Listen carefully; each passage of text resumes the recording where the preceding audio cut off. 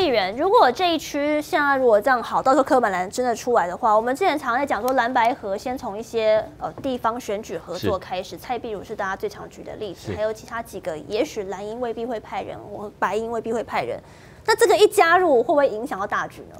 我觉得不会差太多啦，因为毕竟蓝白河现在讲归这样讲，但是实际上能怎么合还不知道，对。那对于柯文哲而言，他到底有没有真的有愿意要来跟国民党做合作？老蒋现在也没有人知道。可是我觉得蓝白河的重点，高虹安会占到一个非常重要的关键，因为高虹安现在也许对于民众党而言是一个炸弹，会对民众党有所损伤。但是高虹安说不定会成为国民党跟民众党合作的契机，因为对于民众党而言，对于柯文哲而言，他民调够高，他是不会跟你合的啦，他自己选就好了。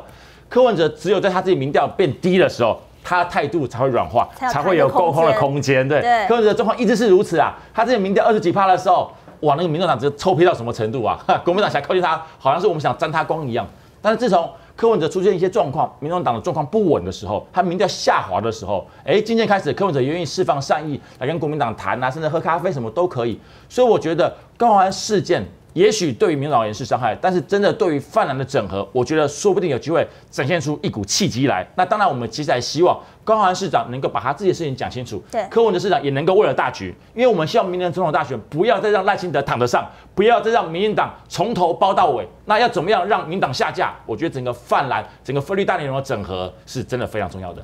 是哦，我们先感谢一下我们的网友胖番薯的抖内，他说民众党不开除或至少先暂停一下高鸿安的党籍吧，让人民看到了柯批有魄力。昨天高的这个道歉声明呢，应该是不准李先生踏入市府。对，就是刚刚我们三位来宾不断强调，你主持根本就搞错了，怎么会去怪你自己基层，然后不要去接触，然后不去管李先生呢？呃，可接下来呢，当然还有一位很相信他，就是我们这几天在讨论的施淑婷。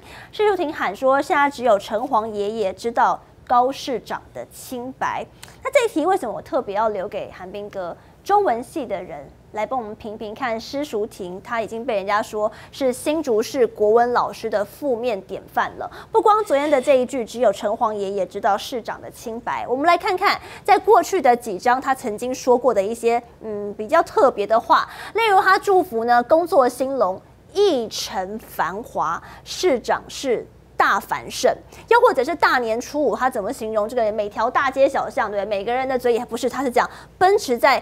炮声隆隆的街道上，然后看着历经这个疫情创伤的市井，然后市民升官乐陶陶。我今天讲说，其实他这未必是国文不好啊，这也许是大预言家。也许明年过后，我们真的会奔驰在炮声隆隆的街道上，不一定。好，那另外还有像是祝所有拿到兔兔小红包的市民好朋友，今年的财富会如同锦绣般爆好，然后为市民打造一个个金银满满的聚宝盆。所以诸如此类的，让我们看到。施淑婷，他是不是连在祝福上面这个用字用语都怪怪的？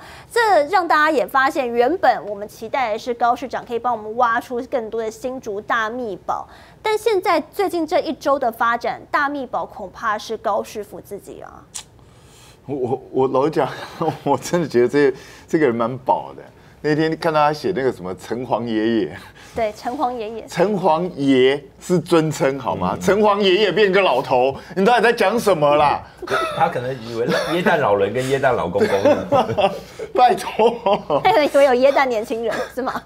所以，我 我跟你讲，中文系，中文系，对，你这样讲的城隍爷是不是？我看会非常不开心，你把他变老头了。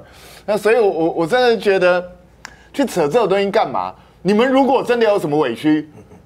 如果真的觉得你是清白的，那就公开讲啊！干嘛忍气吞声？你就你就很光明正大告诉大家你到底做了什么事情啊，让大家检检验啊，还你一个清白啊！那为什么会讲不出来？比如说李宗廷做了什么事情，就就自己叫李宗廷自己出来讲啊。然后像刚刚杨明提到，我也很好奇，为什么新竹市政府会有一个官员跑去旅馆住一个月？他是怎样？是林炳书去新竹市政府当官了，是吧？因为林炳书以前不就这样吗？所以，所以我不知道啊，到底发生什么事啊？所以，简单一个小小的一个新竹市政府，怎么会搞成这样？然后找了一堆活宝来，我要讲离开那个钱康明不是爆料王啊，他根本也是个活宝，我不知道这个人去干嘛了。你你看他整个，不管在陈述事情也好，或者是他自己在处理事情也好。都是很明显的，就是一个完全搞不清楚状况的人，不知道在鬼扯什么东西，然后整个乱搞一通，然后讲把他开除是为他好，以前高明这种做事方式哦，继续下去他肯定要吃官司的，对，这摆明的嘛。这个司徒庭也差不多，这个司徒庭我劝高宏安了，你你还是赶快放生吧，你你让他继续在那个位置，其实你在害他，他很快就会出事，因为这些人根本根本搞不清楚状况，连公务人员最基本的守则都不懂嘛，所以你找这些活宝来干什么呢？所以我我真的不明白，你又害自己又害别人干嘛？所以我我现在觉得民众党根本整个乱了套，因为当初高宏安刚出事的时候，我还我刚好去民众党那边录影，我还问他们说，你们要不要赶快去找一下高宏安，去了解整个事情状况？这样子，第一个你们好在节目上去帮他辩护嘛，你们才你们要比一般人多知道一些事情，才能够去帮他辩护啊。你如果知道跟我们一样多，那那你要帮他辩护什么？可是现在到底党内的状况是怎么样？因为我们看到有一些侧翼的粉砖已经在收手了，就是先不帮了。那党内呢？对啊，所以党内是完全束手无策。为什么？因为我问过杨宝珍，杨宝珍说他知道了，跟那个高新竹市政府发的新闻稿一样，保证是看新竹市政府的新闻稿来 对发言的，对。就是这样子。很封闭的一个环境。对他们完全就是，嗯，然后他们党中央有有讲，曾经想试图去了解一下高宏安发生什么事，高宏安说没关系，他自己解决。哦，有有这一段话，对对对了。所以那那你们党就放他自己解决吗？这个不是自己解决的问题哎、高宏安也许有能力自己解决，我不知道。但是问题是你党中央总要了解发生什么事情吧？因为你高宏安要解决高宏安的事情，你党民众党中央当被别人质问的时候，不管是为党的立场护航，或是为高安的立场护航，你们总要了解事情发生什么吧？结果没有人知道。所以，所以，请问一下，这怎么办？然后现在高安的事情正在发生，然后你们又放了柯美兰出来选，然后这个柯美兰也是个活宝，自己要宣布参选第一天，告诉大家说我爸妈都不支持，很生气，是怎样？我是个不孝女，所以我要出来参选，是这个意思吗？我完全不懂这是什么意思啊！这一家人都是活宝吗？到底在干嘛？嗯，柯妈妈说要去拆房子，你拆就拆吧。那柯妈妈还最生气耶，说为什么我要拆这个东西？你到底在干嘛啦？你们？我真的不懂你们在干嘛。民众党，Hello，你们还好吗？醒一醒吧，不要搞得这样子，很好笑。因为我说真的，我完全不是幸灾乐祸。很多人以为我现在故意要去打民众党，不是。我担心的是什么？我担心这一波民众党下去之后，再也更下去，一起下去。你要知道，这会产生连锁效应的。为大家觉得原来你们在野党也不过如此，那我还是支持我们的民进党哦，会产生这种效应哎，你们不知道会发生这种事情吗？所以真的拜托你们，拜托你们不要再这样恶搞，民众党赶快真的去找高永安好好谈一谈，决定你们接下来路到底要怎么走。是要放声高鸿安，还是你们要团结在一起？要团结在一起，党就要了解整个事情到底怎么发生的。如果你们什么事情也不了解，放任他去弄，然后选择不帮他护航，你们知不知道民进党现在好几个人上节目的时候被人家 K 的满头包，对，然后完全不知道怎么回答。然后那些影片其实都被剪成短影影片，然后被放到 PPT 上面，然后都好像那个节目很少有破十几万的，那几支都破了耶。然后然后在在网络上一直被人家笑，这这种效应是会扩大，这不是单纯影响柯文哲的选情，会影响到整个在野的选情啊！我我真的拜托你们赶快去处理吧，不要大把大家一起拖垮。对，哎，杨明跟他刚好，请帮我补充一下，难道不会很直观的？大家觉得说，如果柯文哲这边有出现消长，反正都是在野联盟，然后流去蓝营或流去侯友谊，不会这样子运作。呃，应该是说这样说啦，就是说，像前一段时间哦，这个呃在野阵营的混乱哦，所谓的就是就是在野阵营互相内斗的，会让打来打去哦，那会让在野阵营的支持者觉得很烦哦，不想看哦。那现在看起来好像慢慢的在野阵营比较开始把聚焦在比如说监督这个，等一下我会谈到包括弹啦，或者说一些政府的这个问题的时候，在野阵营的士气理论上是要提升的。是结果当这个时候呢，你高鸿安的事情没有好好处理的话，确实有可能会对于这个整个在野阵营的士气哦，会造成打击。但我认为影响没有那么想象中那么大啦。为什么？因为新目前看起来还是局比较局限在，我觉得新竹对整个新竹的选情影响比较大，就是新竹人，尤其是在野阵营的，对于本来对高鸿安有高期待的，他们可能会有一些失望。可是呢，你要因为这样演发演变到说全台湾都有感，不一定。目前为什么很多的，你刚刚提到说很多人会很烦，很很呃，就是说很喜欢看这种民众党被修理或者干嘛的？那主要是因为有一个报仇效应啦。比如说哦，上礼拜基泰建设的时候，他们民进党去打王宏威，对，那就是报仇效应。因为去年林志坚被王宏威打爆，所以呢，他们的恨要透过今天我打王宏威来发泄。打高宏威同样的道理，去年新竹这一群人也是，其实就是林志坚的同一群人嘛。他们的这个沈惠宏啊被击败了，而且很难看哦。他们花了很多的资源，结果呢被你高虹安打败了，而且呢甚至呃爆了各种各式各样的料哦，都打不败你。所以呢这个时候看到你变成一个落水狗哦，我们太开心了。追打，这是这是对绿营来讲，他们有一个那个补偿的作用。可是这这个这个，我认为这个效益对于绿营来讲，不会比较不容易扩及到所谓的呃在野阵营里面全面性的崩坏，不太容易哦。所以赶快止血之外，要赶快民众党要赶快把高红安的因素降到最低啦。就是说你不能让它继续扩散，因为为什么蛋的问题比高红安严重多了？是结果大家焦点放在高红安，其实是画错重点。但是高红安的事情赶快处理掉，在野阵营才不会那个叫把很多事情失焦啦。对，因为你你你这个事情高虹安的事情确实是离谱的，但是再怎么离谱都没有等一下我们要谈的进口鸡蛋这个混在国产蛋里面的混蛋事件哦更离谱。那我我觉得现在在野阵营就好好的赶快聚焦在监督鸡蛋的事情。高虹安的事情道歉了，接下来是高虹安要好好的把制度定出来。民众党如果没有办法督促高虹安的话，民众党会跟着陪葬。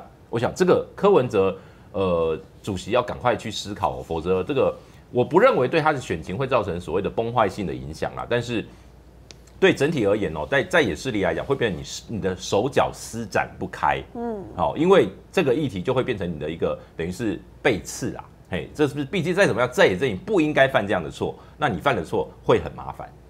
呃，感谢我们的网友秋梦雨的抖内提醒大家记得按赞、分享抖内。当然，也有很多观众朋友们认为说，为什么呃中天现在在打高或打科吗，或打白吗？我想说奇怪，我们每天都好错乱。上礼拜我们还被说是科粉呢。其实任何议题我们都会讨论，像之前这个蓝营曾经有一段时间内斗相当的乱，相当的久。当时我们也是每周都讨论，被讨论到甚至我们被认为是科粉或者是猴黑。呃，但现在就是任何有这种议题，我们就应该去谈。那刚刚杨杨明哥也讲到了，你就赶快把它处理完成，大家在一起全部把焦点放在更需要被在乎的事情上面。那不过当然，刚刚这个博弈员你已经开启了呃蓝白河的这个讨论，那我们就来看一下这个美岛电子报的最新这一份民调来讲的话，呃赖清德一样在还是在第一位啊，百分之三十五点二。不过柯跟侯之间，其实这已经是误差范围中的误差范围，几乎等于一样了啦，二十一点三个百分点跟二十一点二个百分点。那吴子嘉董事长他的判断就叫做是蔡英文插手进口蛋。那陈吉仲最近是神隐没错，可他刚刚已经出来开了记者会。我们等下第二小时会把陈吉仲刚刚公布了一个数字，非常的扯哦。我们有一些蛋过期了，要销毁多大的量？当初补贴的金额是多少？我们先卖个关子，第二小时一定要跟大家分享，因为这个数字太夸张了，你会觉得原来我们的工厂是这样浪费的。不过他讲陈吉仲的退场，然后卫福部又进场，结果赖清德就。倒大霉吗？我不确定，所以分两个部分要问博弈议员。第一个，蓝白之间这样看的态势，两个加起来还是有机会赢的。不过赖清德，即便我们讲成这样，呃，在这段期间之前，原本大家聚焦的是我们的政策议题，我们政府做不好的部分，但再怎么退，还是有百分之三十五点二，哎，这是民党基本盘的。老实说，赖清德真的是很没有吸引力啊，所以民进党的盘一直都是在三十五趴到四十趴之间，他一直无法突破四十趴，就代表赖清德本人对于很多中间选民的吸引力是非常差的。要知道，蔡英文之前他八百一十七万当选，包括这几年来蔡政府的执政，包括大傻逼什么都愿意去做，没想到要接手给赖清德，居然执政党只剩下三十多趴的支持度，当然代表了民众对于呃不管赖清德还是蔡政府他的执政是非常不满意的。那相对来讲，在野的联盟就有高达六成多以上是有机会能够获胜的，只要推出一组人选。可是现在比较麻烦的是，柯文哲跟侯友谊市长的民调太接近了，也因为太接近的情况之下，谁正谁负，怎么样合作，实际上是一个不好来谈的状况。所以对于我们国民党的角度而言，我当然会希望侯友谊市长你必须要尽快的把一些你的一些民调提升。拿出一些好的政策，让一些中间选民跟年轻选民愿意支持你，然后拉开你跟柯文哲的差距。接下来对所有谈的所谓蓝白合或者是非绿联盟大整合，我觉得才有帮助。要不然现在我就会变成卡住一个死水的状况了。因为不管侯友谊市长还是柯文哲市长，二十一趴的支持度感觉起来不算低，但是也不够高。如果持续的保持稳定下去，那明年还是赖清德继续躺着选嘛？三十五趴已经绰绰有余当选了，虽然不是一个多数，但是在所有人平均里面，只要他第一名，明年就来就是蔡政府延续下去，给赖清德持续的执政，这是非常糟糕的状况。所以我觉得现在状况，呃，侯市长必须赶快想清楚了。毕竟郭台铭郭董的状况已经很明显了，他也就是有去说后，呃，他的副手也讲出来了，接下来他也要去做一些连锁的动作，但是因为郭赖配。我个人认为，嗯，那可能有打假球的嫌疑。那个会选到底，我不知道。对，那个组合非常奇怪，因为大家要知道，总统跟副总统的被联署人，他们两个是一起的，他们是共生体。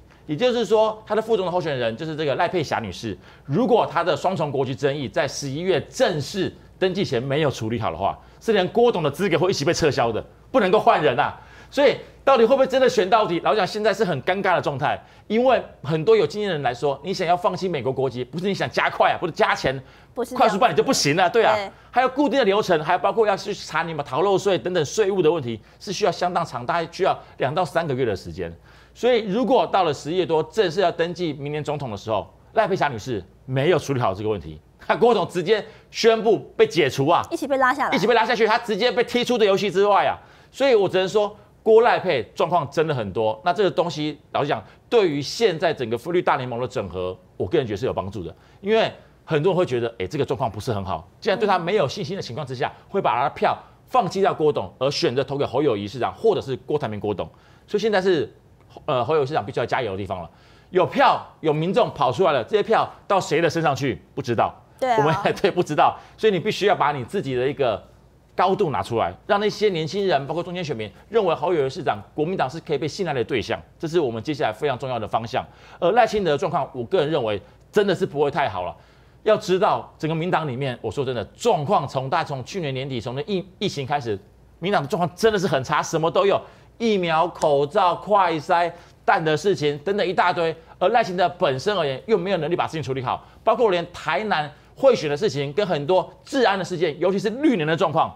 都一直在打击着民党的选情。那接下来，我认为赖清德有机会再往上爬吗？我认为机会不高，因为毕竟赖清德本身而言没有吸引力。但接下来怎么样让国民党让好友谊上变得有吸引力？我觉得才是接下来我们蓝营所需要去努力的方向跟目标。持续加入我们的周末大爆卦，星期六下午的三点钟，您可以上 YT 搜寻“大新闻大爆卦”，就可以找到我们的子评了。来子评有什么样的好处呢？不管是抖内，不管是你们在里面讨论的内容、交换、切磋，找到自己的同好，都欢迎来到子评。所以您可以上我们的大新闻大爆卦的频道一起来。不过在节目继续走之前呢，我们还是跟大家再预告一下今天。下午的呃六点半到晚上八点半之间的庙口开讲，今天来到的是我们嘉义民雄的开基骑虎王庙，而今天的来宾阵容呢，呃除了干哥以外，他们带领了非常这个敢骂敢批敢让大家看到真相的，包含前立法委员林国庆、前立法委员李胜峰、前东华大学的教授施正峰，还有我们的嘉义县议员詹婉珍以及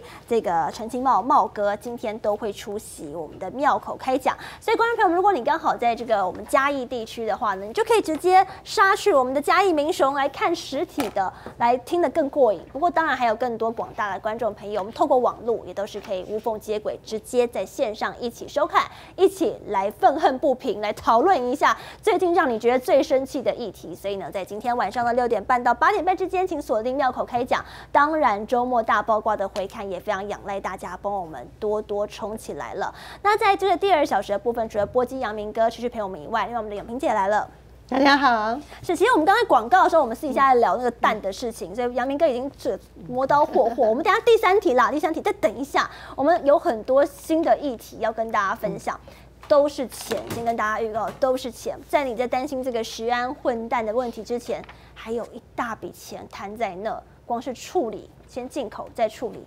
都要钱。先跟大家预告一下。那当然，我们刚刚提到的是蓝白这件事情，先请教一下永平姐。呃，我刚刚先已经谈完了，在这个美丽岛电子报最新的追踪民调。那不过我们也跟大家预告，新头壳还有我们自己中时新闻网的民调，同时也都去做了萨卡都在野大整合的情况下有什么样的数字变化。好，新头壳的部分。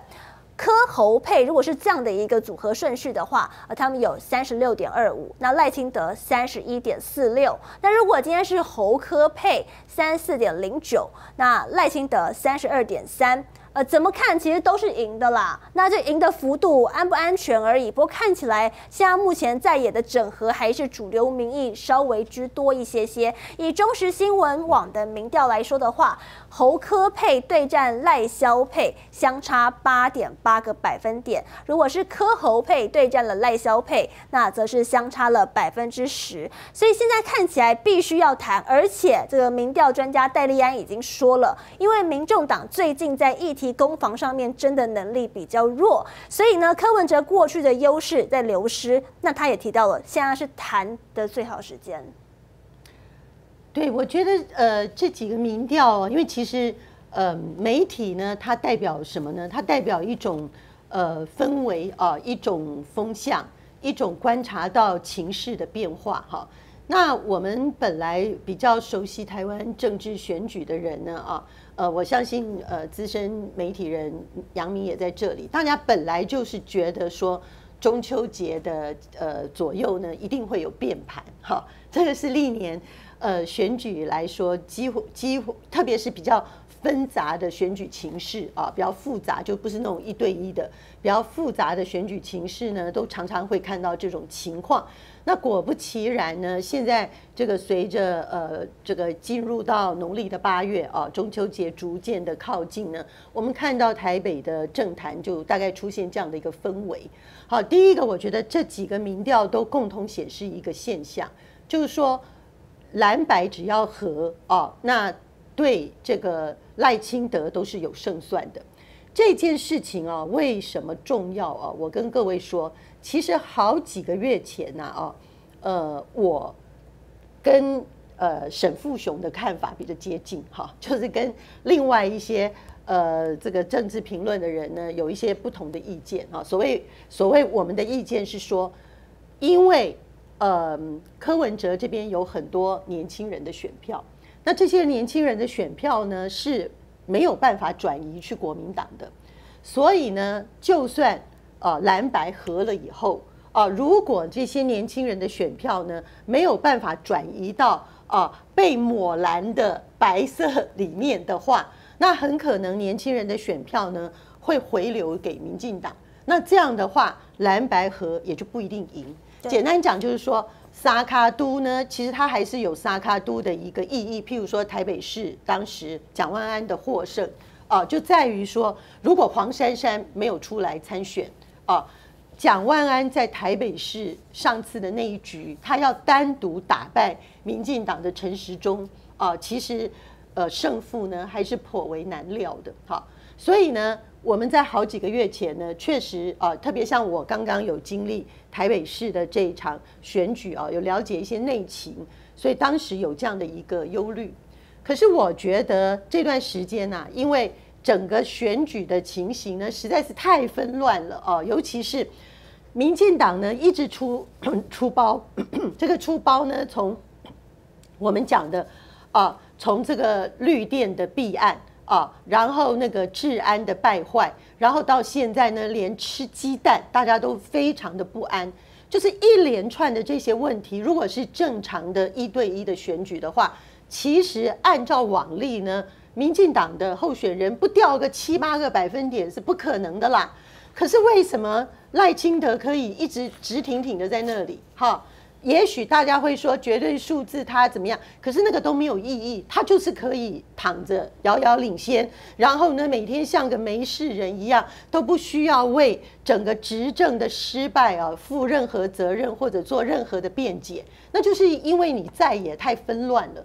所以现在的这种情况呢，我觉得啊，蓝白一定要合作呢，变成是一个普遍的氛围，而且这个氛围呢，不仅在呃大家说呃中年人以上啊、这个踏入社会的人啊、有背负着很重的家庭负担啊、社会中间主力的人感受到这种压力，连年轻人都有这样的情况。哦，因为如果年轻人那一块不支持蓝白合的话，那你绝对做不出来哦。侯科配跟科侯配差不多，那个呃，我相信大家了解我的意思。那现在的这些民调里面呢，就算侯科配啊，在几个民调显示它略微低于科侯配，但是第一个这个低的比例呢，非常的有限。啊，就民意调查的角度呢，它叫做误差范围之内，因为都在两趴左右，所以在统计学上呢，可以视为没有什么意义。好，那单独你去看他们的每一个人民调呢，也一样哦。科跟侯呢，更根本更差的都是在一个百分点以内，就是零点几这样。那这样的意思呢，说明什么？说明现在侯跟科，科跟侯都是平手。啊，这一点呢，我们其实也预测过了。我大概两个礼拜前我就讲了，他们两个人呢，那个大概这样子搅麻花辫呢，还要搅一阵子。好，可是这个对于蓝白河有什么样的意义呢？哈，高鸿安的事情，我刚才看上一个段，大家谈得很激烈，其实我也有点意意见想表达，不过不是不是这个时候。就柯红高鸿安的事情，我们都先摆一边，光靠看民调，这个就说明呢。如果现在真的要配的话呢，大概就是会往侯科配来走，因为当科侯配，也就是说柯文哲没有办法领大幅度的领先侯友谊啊，就算跟侯友谊平手，他也没有跟侯友谊可跟国民党可以叫盘说我要选正的，没有，因为呢，呃。不管是高鸿安事件，还是呃刚才也有提到的民众党呢，他现在自己内部不断的党员出状况，呃，他连想要查核党员的清廉呐，呃，党员的这个党风纪问题呢，还想要依赖外力，而且还不成功，就种种都显示，他作为一个政党呢，他的基础太过不稳固。那这么不稳固的政党，你要让民众放心说，哎。高后力，好，你做正的以后呢，这些阁员、官员各方面什么，通通都好力给花，所有人都给你认定。那大家会想说，哦，现在民进党已经让人痛不欲生了，我要再忍受你这样子乱七八糟，不晓得从哪里挖出来的一个人，连中华民国基本的行政程序法都不理解的人，你能够相信吗？好，所以我觉得。柯文哲的受到民间的喜爱，他个人的魅力还是超越侯友谊，这个大家没有话讲。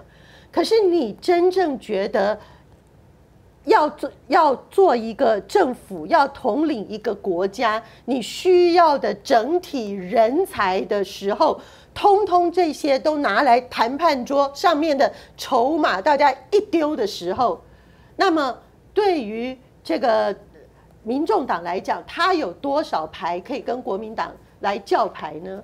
更不要说，我都还没有提到说这个区域立委的问题，因为不分区，我们都知道柯文哲不管怎么样表现呢，民众党的不分区的席次是可观的。但是呢，你不分区的席次，你没有办法取代区域立委啊，尤其是区域立委的那种近身的肉搏战，你到最后大大。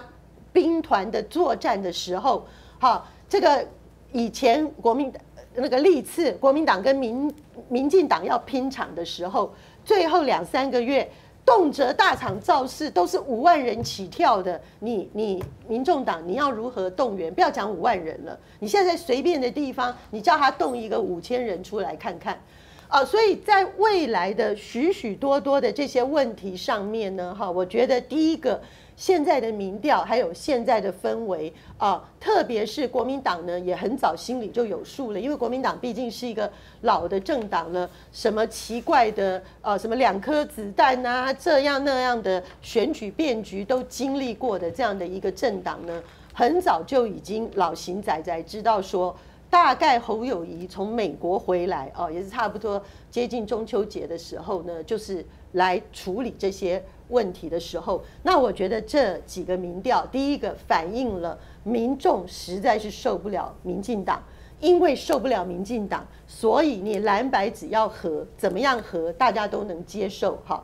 那第二个呢，在这样的氛围底下。蓝白只要能够谈成合作，好，不管这个合作包含立立法院席次，呃，立法院的未来的这个这个发展，还有甚至啊，能不能像国外的呃政党能够进行到呃公开透明的关于这个内阁的呃阁员的谈判，我都很欢迎，我觉得通通可以。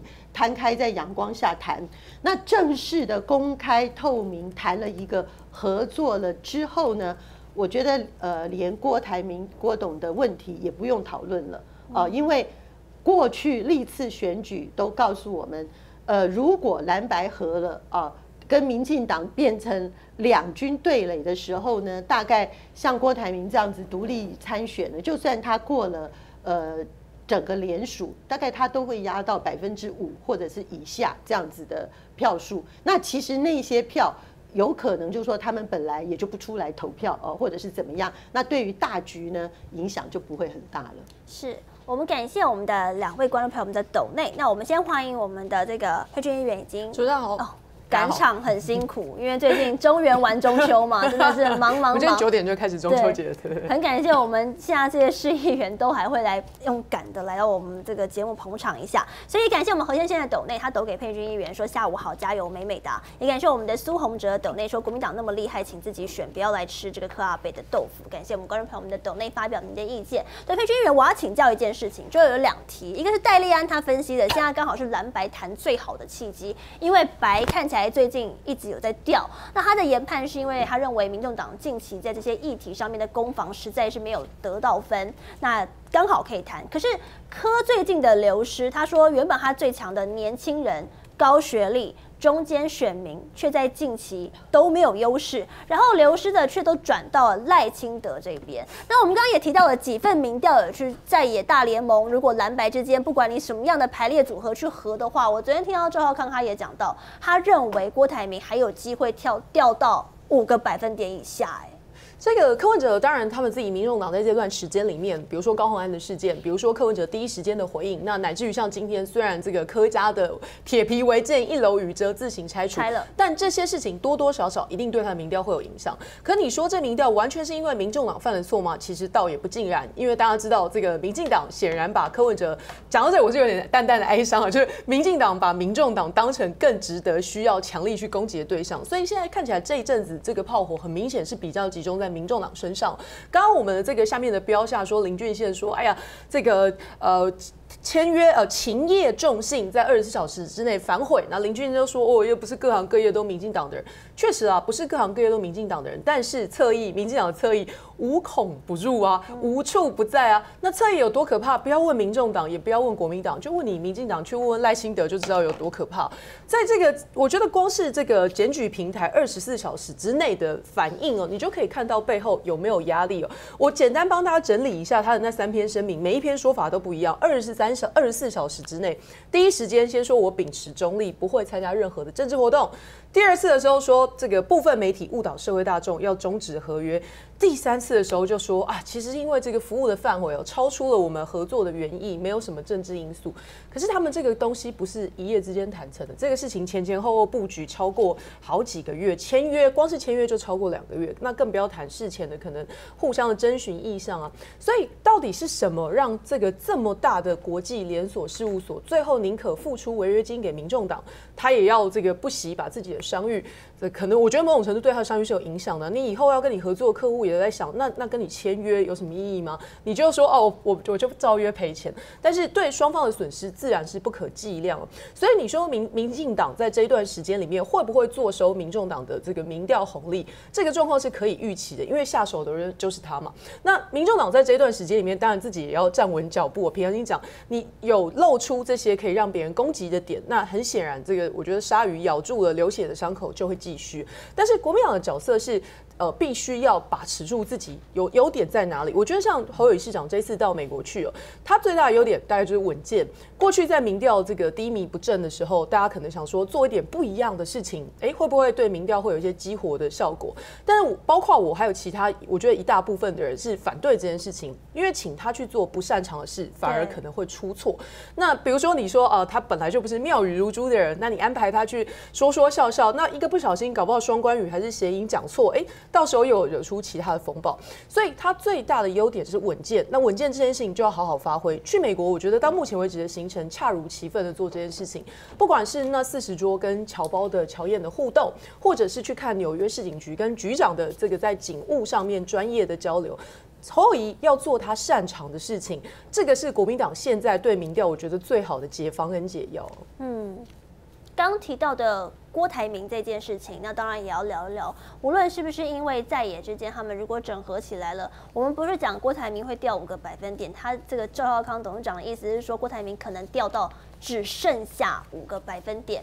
但我们其实也不只是因为在野的关系，而是郭台铭他们办公室或他整个团队有什么样的问题。我要请问杨明哥，呃，赖佩霞这个事情恐怕对他们来说是一个核爆级的，因为放弃美国籍来不来得及是一回事，再者还有学历翻车是一回事。我们也都知道，这大陆的学历的认证，现在看起来这一今年的应该是赶不及了。那对，呃，对于这个学历。被质疑之后，那赖佩霞其实使用了一个跟郭台铭非常相近，可是也许不是一个太明智的选择，就是先怪媒体。他们有说呢，这是因为媒体自己跑去这个第一时间在网络上面搜寻而来的。他就说他的哈佛本来就是短期班，从来没有说取得哈佛学位是学历资料的，所以这部分其实就是。我们自己媒体去找，然后找到了。但我们嘴也确实看到这个相关的有一些媒体呀，用这种连出非常多篇的方式在攻击赖佩霞，或是连带也烧到了郭台铭。所以是不是因为也得罪了媒体，导致于现在这个整体的声量，从前一天开始释出消息的时候说哇双喜临门呐学霸，到后来变成是好像双双都要输了吗？原来好的益生菌真的可以帮助入睡。